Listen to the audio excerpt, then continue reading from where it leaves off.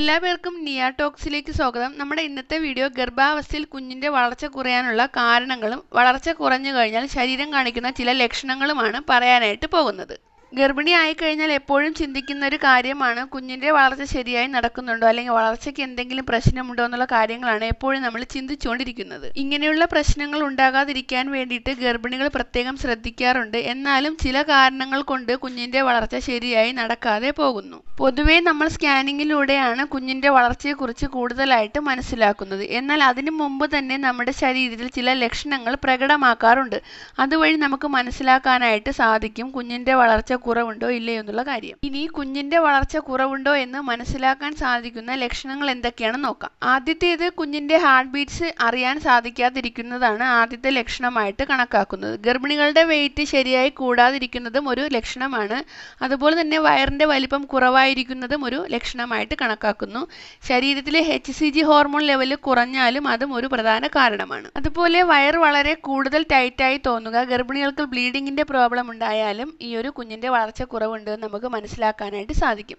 അതുപോലെ തന്നെ വെള്ളപ്പൊക്ക് കൂടുതലായിട്ട് കണ്ടാലും ബാക്ക് പെയിനും വയറുവേദനയും കൂടുതലായിട്ട് നിങ്ങൾക്ക് അനുഭവപ്പെട്ടാലും ബ്രസ്റ്റിന്റെ വലിപ്പം കുറയുകയാണെങ്കിൽ അതുപോലെ തന്നെ കുഞ്ഞിന്റെ അനക്കക്കുറവ് ഉണ്ടാവുക മോണി സിക്നസ് കാണാതിരിക്കുക ഈ പറഞ്ഞ ലക്ഷണങ്ങളൊക്കെ നിങ്ങൾക്ക് കാണുന്നുണ്ടെങ്കിൽ അത് കുഞ്ഞിന്റെ വളർച്ചക്കുറവിന്റെ ഒരു പ്രധാന ലക്ഷണമായിട്ട് നമുക്ക് മനസ്സിലാക്കാനായിട്ട് സാധിക്കുന്നതാണ്. നോർമലായിട്ട് പ്രഗ്നൻസി സമയത്ത് ചെറിയ ബാക്ക് പെയിനും വെള്ളപ്പൊക്കവും ഒക്കെ നോർമലായിട്ട് ഉണ്ടാകാറുണ്ട്. എന്നാൽ ഈ പറഞ്ഞ കാര്യങ്ങളൊക്കെ നിങ്ങൾക്ക് കണ്ടിന്യൂസ് ആയിട്ട് നിൽക്കുകയാണെങ്കിൽ നിങ്ങളുടെ കുഞ്ഞിന്റെ വളർച്ചക്കുറവ് ഉണ്ടാകാനുള്ള കാരണങ്ങളാണെന്ന് നിങ്ങൾ മനസ്സിലാക്കുക. പ്രഗ്നൻസി സമയത്ത് കുഞ്ഞിന്റെ വളർച്ച കുറയാൻ അല്ലെങ്കിൽ വളർച്ച ശരിയായി നടക്കാതിരിക്കാൻ ഒരു കാരണം മാത്രമായിരിക്കില്ല. മറ്റ് പല കാരണങ്ങൾ കൊണ്ടും കുഞ്ഞിന്റെ വളർച്ച കുറയാറുണ്ട്. അതെന്തൊക്കെയാണെന്ന് നോക്കാം. ഒന്നാമതായിട്ട് പോഷകാഹാര കുറവാണ്. ഗർഭിണിയായിരിക്കുമ്പോൾ നല്ല രീതിയിൽ പോഷകാഹാരങ്ങൾ കഴിക്കാനായിട്ട് നിർദ്ദേശിക്കാറുണ്ട്. എന്നാൽ പ്രഗ്നൻസി സമയത്ത് നമ്മൾ ആഹാര കാര്യത്തിൽ കൂടുതൽ ശ്രദ്ധിക്കാതെ ജങ്ക് ഫുഡും മസാല അടങ്ങിയ ആഹാരവും എണ്ണ കൂടിയ ആഹാരവും ഇവയൊക്കെ കഴിച്ചു കഴിഞ്ഞാൽ കുഞ്ഞിനാവശ്യമായ പോഷകങ്ങൾ കിട്ടാതെ പോകുന്നു. അതുപോലെ തന്നെ ചില ഗർഭിണികൾ ഓവർ വെയിറ്റ് ആയി പോകുമെന്ന് പറഞ്ഞ് ആഹാര കാര്യത്തിൽ പ്രത്യേകം ശ്രദ്ധിക്കാതിരിക്കുകയും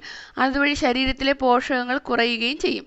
ഇതുവഴി കുഞ്ഞിന്റെ വളർച്ചയ്ക്ക് ആവശ്യമായ പോഷകങ്ങൾ കിട്ടാതെ വരികയും ഈ കാരണത്താൽ കുഞ്ഞിന്റെ വളർച്ച കുറയാനും ഇടയാകുന്നു.